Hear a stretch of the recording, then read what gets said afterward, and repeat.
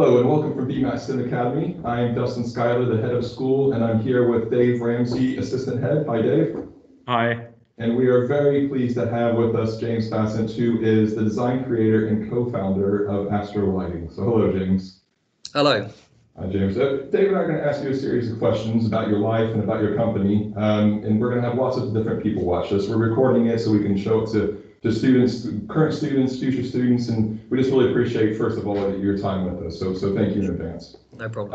Um, James, if you if you could just tell us a little bit about your career journey um, and how you got to where you are today.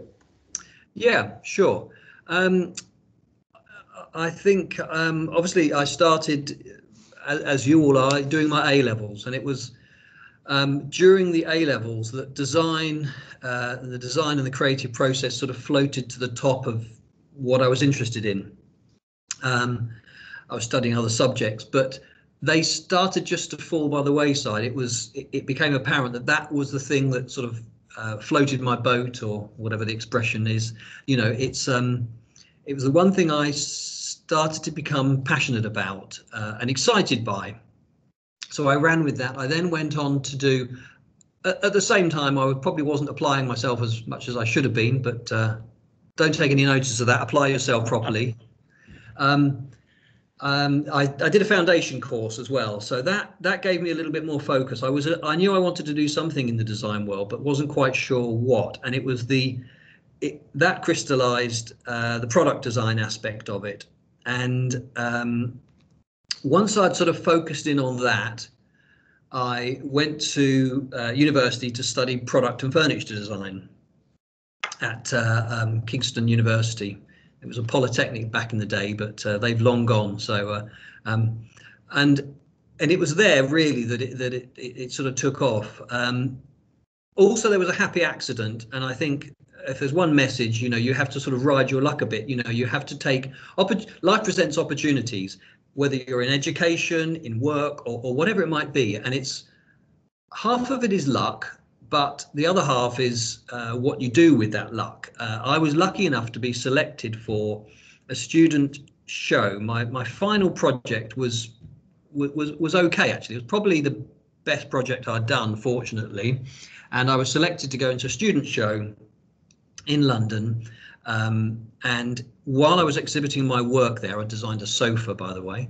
Um, while I was exhibiting there, um, someone from a lighting company came along and said, I really like the sofa. We should, you know, I think there's an idea there. We could manufacture it. It was a small lighting company. They used to dabble with various other things. Anyway, cut long story short, the sofa didn't go anywhere, but they offered me a job in the lighting company. So that's how I got into lighting. So it quite a, a you know, a, a fortunate series of events combined with a design education. So it was just having a little bit of luck at the end. Um, from that, uh, that was really in at the deep end, uh, working for a lighting company. Um, I moved on various different companies after that, and it was I think at my third job that I met uh, my co-founder John Fearon. He was actually the chap who employed me. He um, interviewed me for a job at a company. We got on extremely well, and um, we were working together for a couple of years. And again, through sort of a lucky uh, coincidence happened that the, the company that we were working for was was sort of not going very well. It was failing. We could see that, so we uh, we sort of jumped ship. John suggested that we set up our own company and do our own thing, which we decided to do. And there were the two of us um, that started Astro Lighting. Literally, the, just the two of us. We were manufacturing in South Wales, and we had a little office based in the in the basement, in the cellar of my house. I converted the cellar into a little office just for the two of us. There were no windows. It was slightly damp, um, and uh, but we had a telephone line. We had one computer, and it got us going. Um, and and and from there, we've we've we've steadily grown. We moved into our first premises in Harlow. Um, we started in 1997. We moved into our first place in Harlow uh, in 1998. So a year after we started, we had a little um, industrial unit in Harlow. Uh, we've stayed in Harlow ever since and moved around. In fact, we've moved up and down this one road. This is our fourth uh, fourth uh, office that we're in. Um, we've now got about 8,000 square foot of warehouse here, plus office. Interesting little fact I re realized the other day that our, our office space is twice as big as the total floor space of our first warehouse. So the warehouse was tiny. Uh, so we've got a bigger, we've got twice the size of office space here. So anyway, um, and that's where we are now. We're employing about 130, 135 people around the world. We've got uh, an office in the, in the States, got an office in Singapore, an office in China, and um, yeah, there's a few more people than just the two of us. So I hope that gives you an overview of what my career has been. No, absolutely. Thank you. I, I love hearing these stories, and I think it's really uh, important for whoever's watching this and our students that are going to be watching it to hear, you know, the, the the background of where you're in a basement, that damp basement, and you didn't Yeah. start off in your large uh, warehouse. You know, No, no, no, You, you you've start got to- somewhere. you you you've got to sort of um, just go with it. You know, you just got to gr- seize the moment and and be adaptable, be flexible, work with what you've got, um, and just keep keep pl- pl- plowing on with what you want to do. Yeah. Excellent. Well, thank you for sharing. I really appreciate it. Um, it was interesting what you were saying about about university. I, I remember when um, I ended up going uh, and, and trying to decide exactly which route I wanted to take. I, I knew, so like yourself, I wanted to go design, engineering, that kind of area. Mhm. Um, but design is so broad, you know, the, the, the subject of design. And when you start thinking the art end of it and the engineering end of it as well, uh, what would you say um, to, to a student who was interested in going into design and wasn't quite sure sort of where they should focus, wh- which degree path they might want to, to take? Um, I suppose a lot of that is is personal choice, and it, it- again, it's sort of going back to the bit you enjoy. At Astro, we have uh, my, myself. Uh, we have another sort of purely creative designer who are who are tasked with uh, product generation. So in a way, we've got a we've got a product management team and a product strategy. So we know we need a product that does this. You know, there's a gap in the market. There's a demand from a customer for this. So they're, they're generating um, the, the brief, the demand. It's a set of words. Now, uh, myself and this other chap, Riley, are tasked with, okay, well, what does that set of words look like in three dimensions? How does it how does it become an Astro product? How does that set of words come into a 3D form? We've also got a fantastic team of engineers who are from the more engineering side of design who um, take that form and then make it work and they really enjoy that part of it you know it's it's what it's what it there's overlap for sure but it's the the bit that you know the engineering side or the creative side um, you know sometimes the creative side is really very hard. You know this, this afternoon for example we've just had an ideas meeting where every so often we get together and uh, and put forward new ideas. Now i'm tasked with presenting some products. Um, it's a blank sheet of paper. Now a blank sheet of paper can be one of the most daunting things in the world. You know what you know there's a, there's demand from the marketing team saying we really need one of these. Our customers are demanding one of these and uh, and, and go away and design it. And you think well how hard can it be i can tell you it's very hard indeed. You've got a blank sheet of paper it's very daunting. Um, so once i've created it you know the, the, you've got this engineering team who will go off and you know bring that into the world you know and sometimes you know they also have the hard bit because it's very easy for me to do a little pencil sketch and it looks fantastic. Whoa wonderful brilliant. It doesn't work and you can't fit the parts in it and uh, you you no such material exists to do that. So there's there's a crossover between what it looks like and how you're going to make it and and, and i suppose the bit that excites you we've also i don't know whether you're sort of more engineering but we've got a graphics team and we've got sort of a technical side as well so um, i'm not sure how, how that relevant that is for you but um, No, that's brilliant. Thank you. Excellent. It- And uh, James, it- it's quite inspiring listening to your, your life story and uh, running a successful company. And again, to our younger viewers watching this, what, what- I'm, I'm sure you've acquired a lot of skills over the time throughout your career. Can you talk about some of the skills that you would recommend that you think uh, our students uh, would need to acquire uh, to get to where you are and what you've learned over, over time, the, the skills that stand out the most? Yeah. Um, I think this is a question. Quite, it's a it's a great question, and it's sort of um, more about life in general. Um, there's a there's a design and engineering aspect to it, but um, when my first job that I mentioned, this this uh, this guy who who saw the sofa I designed and uh, said, you know, I, I started working with him, and and when he said this to me, it didn't really make sense, but it makes sense very much now, which is uh, design is about 5% of what you do. The other 95% is managing it. How do you get that design? How do you interact with people? How do you communicate well? Um, how do you get on with people? How do you um, get your points across? How do you get the work done? How do you manage your time? You know, there's so many, um, you know, I, I, mentioned sitting down with a pencil. Well, that he's absolutely right. That is a tiny percentage of what I do. It's being able to manage all those different aspects of a job, whether that's design, engineering, whatever it might be. You know, being a doctor, who knows? It's it's it's. I suppose that's life in general. I think that's hugely important. I think it's being able to um, um, look after all the different aspects and uh, you know prioritizing what's important um, yeah, I'd say that's that's what I'd like to pass on my little tidbit of information. Hope that helps. absolutely so. Absolutely. Thank you. Um, so obviously, as brands in general, and, and Astro Lighting as a brand. Um, um, the students have this sort of really exciting opportunity to, to come up with some concept designs that that that we could say could sort of you know fit in with the brand or take inspiration from it. Um, thinking more about the, the project that our students are going to do, could you talk about what you think the key features are of Astro, the Astro Lighting brand? Yes. Um, this is one of those elevator questions where you're in the elevator with someone, you've got 10 seconds or so, something to, before you get to the next floor when you've got to pitch what your company is all about. It's very hard to encapsulate, but I'll try anyway. Um, what, what Astro, I think what Astro Lighting does, we design um, well designed contemporary lighting for sort of high end domestic and hospitality. I think what's important to us is we um, strive to get the little details right.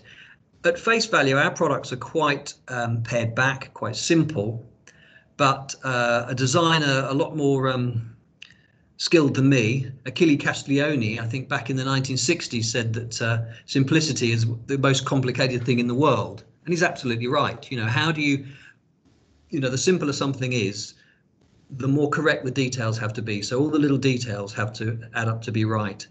Um, I also think it's important to, um, and this is more so now than ever, there's a lot of white I, I, think of it as sort of design white noise you know there's so many people doing so many different things and it's all available all of the time you can just go online and you could be swamped with hundreds of thousands millions of different lights you think all the ideas are done so it's more important than than ever for us to understand what it is we're about to understand what's important to us you know what do one of the overriding um, design principles we follow, which sounds very simplistic, but is is true and has stood us in good stead, is um, would I buy one? Do I like it? You know, um, and, and it sounds simple, but it's true. If you just stick to your core principle of if if I'm designing a product, don't forget to stop and ask myself, well, do you like it? Would you buy one? Would you have it in your house? You know, it's important, and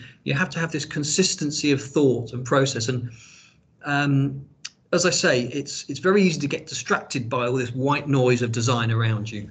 Uh, but just stick to what you know, what you believe in, and uh, and follow that path.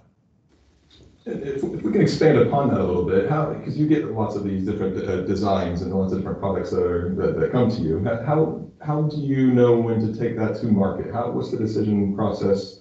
And think, okay, this is the, the product I have, and now I want to take it to market. What what's that next step? Uh, kind of expanding what you just answered. I, I suppose, you know, this, this another good question because it's like an artist. You know, when does he?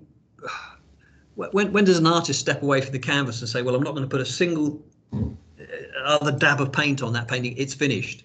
Um, and, and, one could tinker for hours on, you know, just fettling little details here and there, but um, it's hard to know. I think sometimes what we do is we push a design. So we we have a design and we think, well, that's great, but maybe that part there should be a little bit bigger. And what we'll do is we'll we'll make a sample, a model, uh, that's a little bit bigger, and then bigger still, bigger still, and then, and then you think, oh, we've gone too far, and you kind of come back. So you you push some of the design envelope a little bit, and then you think, well, that, that's that's gone too far, so we rein it back. So it's um, also we're quite um, we're quite a collaborative company. So I might be tasked with um, taking this set of words and creating a product from it, or what that product would look like, how it how it inhabits the world as an Astro product. Um, but we are collaborative, so we have a you know we have some very experienced people here. For example, my um, my business partner John Fearon, he you know he's got a really good eye. He kind of he, he kind of knows uh, whether something is commercial, as in you know that's that's a commercial product it will sell or if it's if it's sort of misses the target. And you know, we've got other people in the company, so we have a we have a weekly meeting. The designs are presented, and we take opinion. And and um, eventually, we get to a point where we think, well, everything's the right size, the proportions are correct, the sizes are correct. We like the finishes. Uh, it functions properly. You know, in amongst all of this, it has to function because with lighting, it's a piece of furniture. It sits in a space. It is a 3D object but it has to function as well. So you've got this great, um, uh, you know, coexistence of the only reason you're buying that product is it it emit light. It emits light. You're buying it to do a job, to, to, to light up your space, but you want it to look great. So it's it's how you balance those two things. It has to function well, but be desirable. And uh, sometimes you get it right bang on. You know, you you might you might do a sketch which goes through to a product, and occasionally you think, well, I'm not going to change a single thing. It's right. You tweak it very slightly. Happens very rarely. Usually you're kind of in the right ballpark and then you you you you sort of fine tune it. And you arrive at a place you think, yep, yeah, I wouldn't change a thing. And if you're in doubt, usually we don't have time to do this, but what you, if you had time, stick it away for a couple of months, uh, forget about it, go back to it. If you look at it again and think, I wouldn't change a thing, then it's probably right. Uh, and I also think that when I look back at products, there are certain products in our range that were probably designed 10, 15 years ago. I look at them and think, there's not a single thing I would change about that. I mean, there's lots of products where I think, oh, I don't know why I did that. I would do something else. But, uh, you know, that's yeah. how we, we arrive at where we do. So it's going to be probably a really proud feeling to come across a, a product like that and have that. Yes, yes, yeah, it, it is. It is a good feeling, that's for sure. Yeah. That, that's that's brilliant. Thank you. And I think the the kind of final thing that that we we want to ask um, is over the next ten years.